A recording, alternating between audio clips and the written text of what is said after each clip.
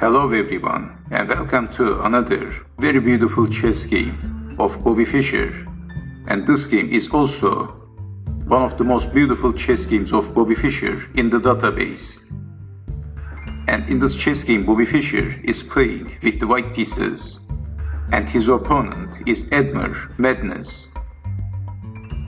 And Mednis was a strong chess player. He represented United States in the World Junior Championship in 1955 and became the second place. And also he drew with Boris Spassky in that tournament. And Spassky was the winner, the famous Boris Spassky.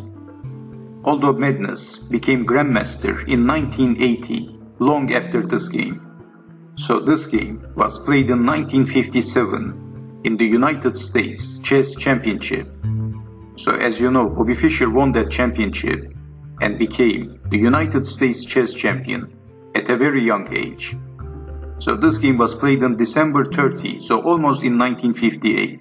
Anyway, Bobby Fischer has the white pieces and Mednis is playing with the black pieces. Fischer starts the game with playing e4, d6, d4, knight to f6, knight to c3, so we have the Pirc defense by Mednis, g6, bishop to g5, bishop to g7, queen to d2, h6, attacking the bishop, bishop to f4, c6. And after this move, Bobby Fischer castled in the queen side. Queen to a5, king to b1, g5, bishop to g3, knight to h5, attacking the bishop, bishop to c4, b5, bishop to b3, knight to d7, f4.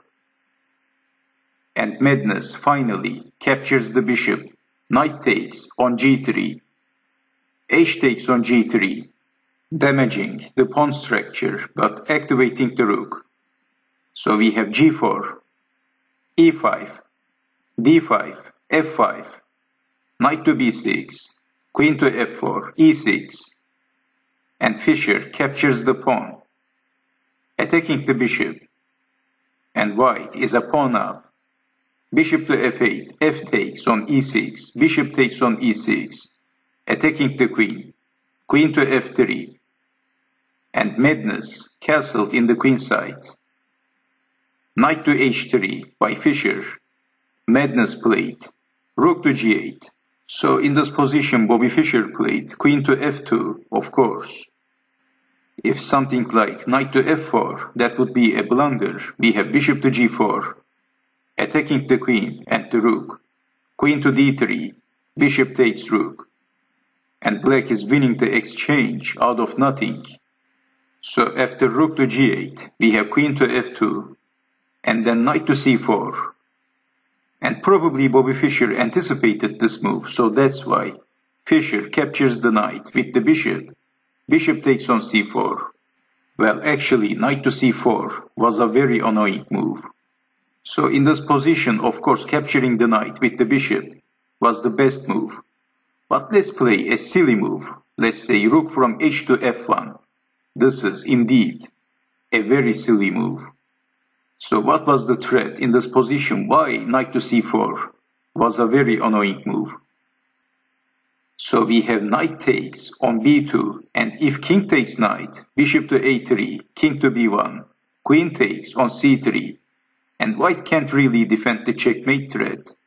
White is getting checkmated. So this is why Fischer is getting rid of the knight. Bishop takes on c4, b takes on c4, opening the b file and planning to activate the rooks and attacking the king. So this is the plan for Edmar Mednis.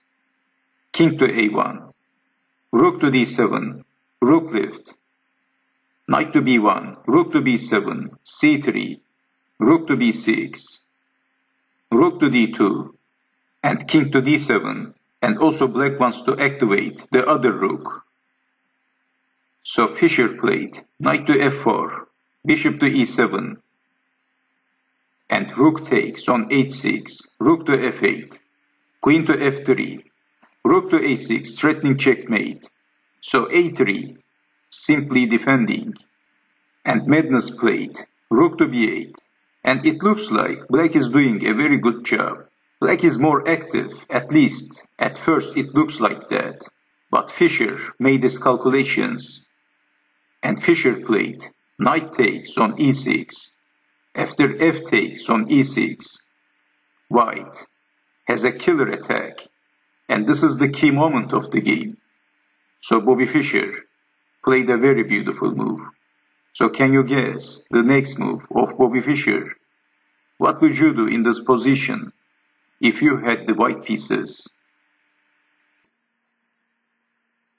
Bobby Fischer played rook takes on e6, sacrificing the rook, and this was the killer move. Well, Mednis, of course, didn't capture the rook, and he played bishop takes on a3. Well, obviously, Mednis considered capturing the rook, but that would lead a forced checkmate. So if king takes on e6, then queen to g4, king to f7, e6, king to f8, and then queen to g6, and black is getting checkmated, and there is no defense. So this is why Bobby Fischer played this incredible move, rook takes on e6, but we have bishop takes on a3. Fischer simply captures the bishop with the knight, and then king takes on e6, queen to g4, king to e7, rook to f2, and rook to e8, allowing king to escape. Fischer played queen to g5, king to d7, and then rook to f7, king to c8. And can you guess the move? Well, Fischer simply played queen to f5, king to b8, and then queen to d7. So after Bobby Fischer played queen to d7, Mednis resigned. And this is the last position of this magnificent chess game by Bobby Fischer. And black is getting checkmated and there is no defense after this position. And let's play a silly move. Let's say queen to b6, then queen takes rook. And there is no defense. Black is getting checkmated, as you can see. The one and only way to prolong the game is queen takes on a3, b takes on a3, rook takes pawn, king to b2, rook to b3, king to a2, rook to a3, king takes on a3. And there is no defense, as you can see, queen to c7. That's checkmate. So this is why, after Fischer played queen to d7, Mednis resigned. So this was the famous game of Bobby Fischer from the United States Chess Championship in 1958. So I hope you have enjoyed watching this video and I hope to see you next time. Take care.